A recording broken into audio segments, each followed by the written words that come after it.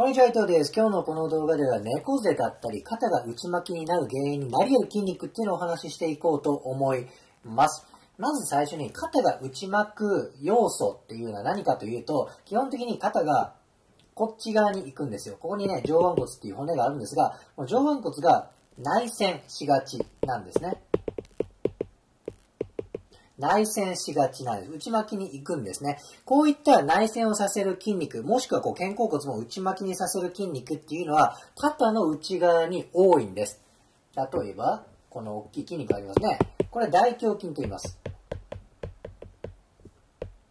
大胸筋。これもちろん内旋をさせます。あとは、これ三角筋っていう筋肉があるんですよ。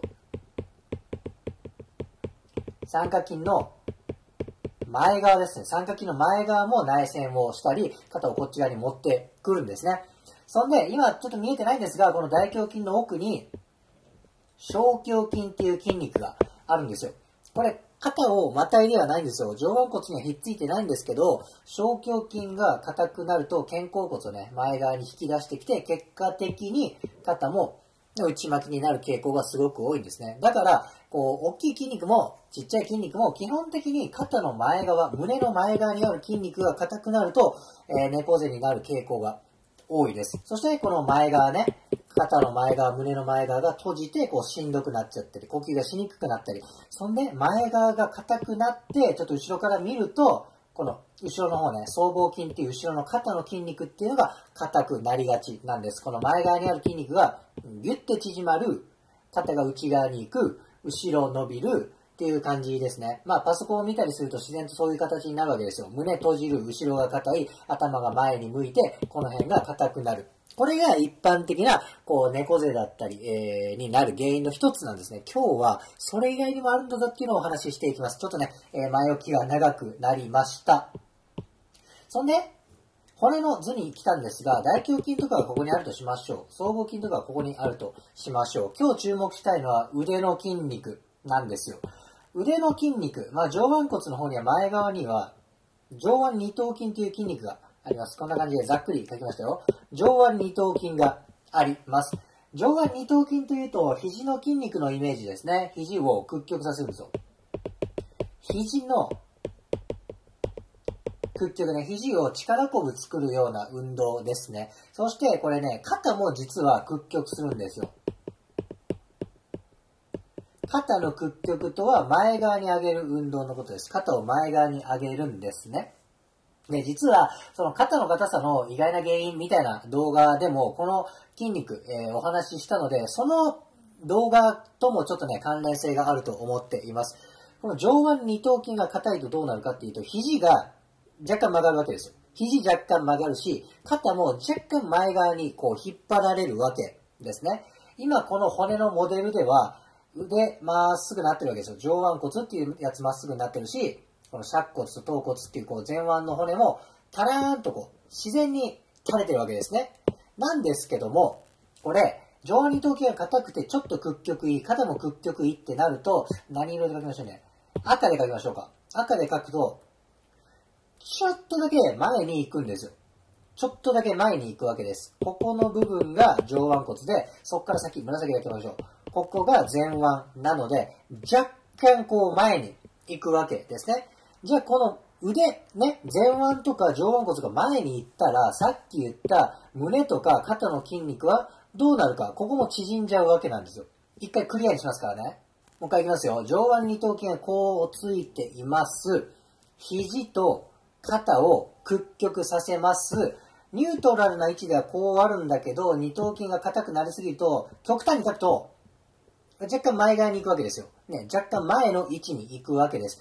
この肩が前に行く、腕が前に行った状態になると、最初言った大胸筋とか三角筋とか小胸筋の周りのスペースはどうなるか、胸の前側はどうなるか、縮こまっちゃう可能性がありますね。ということで、実は、この猫背とか肩が内巻く原因の一つっていうのは、意外と腕の筋肉っていうこともあり得るんです。これ絶対ではないですよ。絶対ではないんですけど、今の僕たちの生活っていうのは、どういう位置かというと、こんな感じなわけですよ。パソコン使ってるわけですね。あとはスマホを使ってるわけですね。だから自然と肘の筋肉っていうのが結構使われてる状態にあるんですよ。じゃあ肘の筋肉屈曲させるのでめっちゃ強いの何っていうと、はい、上腕二頭筋なんです。この肘が曲がった状態で、肘が曲がった状態でスマホを見たり、パソコンを使う、まあ、タイピングをしたりする、もしくは本を読んだりする、タブレットを使うっていうことで、無意識に上腕二頭筋に力が入るわけですね。はい、力が入りました。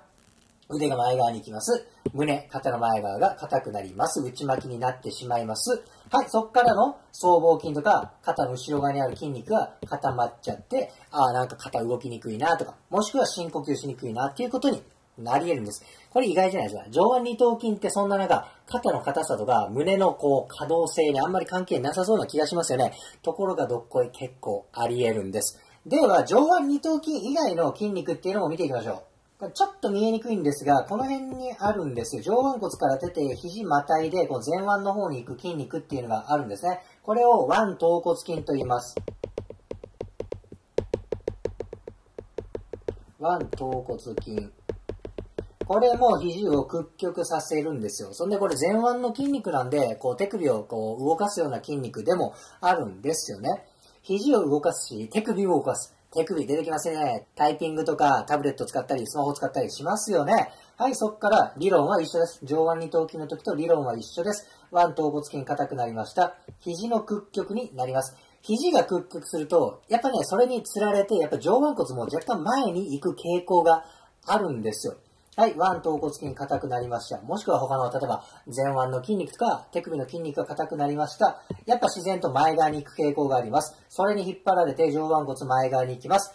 三角筋とか大胸筋、小胸筋があるこのスペースどうなりますか？はい、狭くなります。狭くなって内巻きになって、はい、後ろの筋肉硬くなりますっていうことがあるんですね。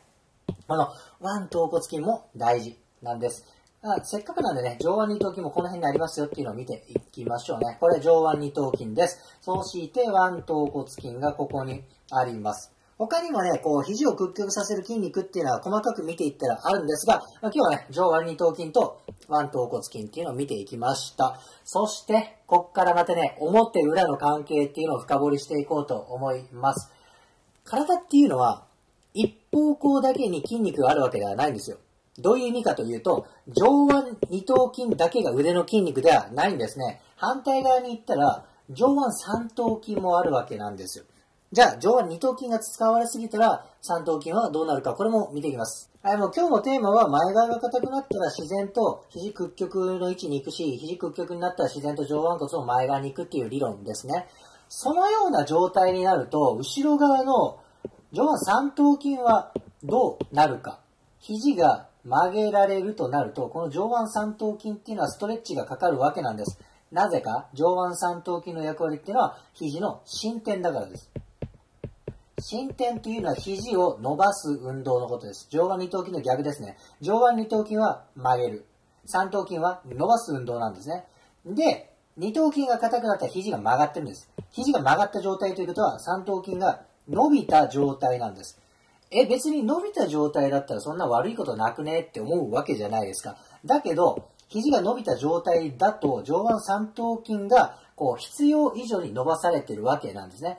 変な話、ずっとストレッチ状態になるわけなんですよ。極端な話、ずっと肘を曲げた状態になると、二頭筋ももちろんなんだけど、上腕三頭筋の方も疲れは溜まるわけですよ。今度肘伸ばそうとしたら、なんか裏側が痛いなっていうことになるわけなんですね。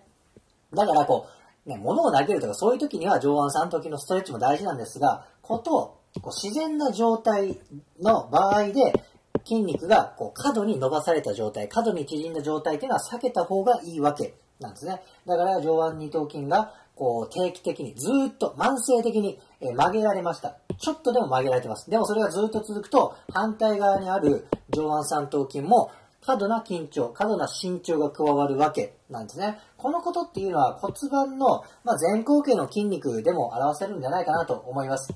これ骨盤がここにあると思ってください。骨盤を前傾させる筋肉があるとしましょう。骨盤を前側に倒す筋肉ね。それは基本的に前側にあるわけなんですよ。前側が硬くなったら、じゃあ後ろ側どうなんのと。大臀筋とかハムストリングスはどうなんの過度に伸ばされるわけですね。これもまたね、問題なんですよ。ニュートラルな状態からちょっとでもずれると、筋肉っていうのは、例えばこっちがプラスになったらこっちがマイナスになるわけですよ。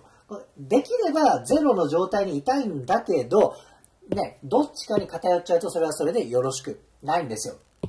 反対に骨盤後傾の方に行ったら、ハムストリングスは縮むし、前側にある方は極端に伸ばされるわけです。これはまたプラスマイナスの関係になっちゃうんで、できればゼロな状態でいたいんです。これも一緒。上腕二頭筋と上腕三頭筋のバランスもできればゼロでいたいんだけど、まあ、現代の生活ではね、スマホを使ったり、パソコン使ったり、タブレット使ったりで、なかなか難しいわけなんで、二頭筋硬くなる、肘曲がる、肩、屈曲、はい、肩、周り、胸の周りの筋肉が縮こまる、僧帽筋も硬くなるっていうことがあるので、まあ、極端な話な、今日は何が言いたいかっていうと、上腕二頭筋とか上腕三頭筋も、ね、注目してみたら、肩の硬さとか、ね、えー、この辺の呼吸の制限とかでも繋がるんじゃないかっていうことを提案しています。ここで告知なんですが、僕は定期的に東京に出張の施術に行っています。ですので、あ、こいつなんか体の見方面白いな、ここは硬いな、っていうことが気になる方は、詳細欄にホームページのリンクと東京出張の LINE 公式アカウントを貼っていますので、そちらからお問い合わせを申し込みください。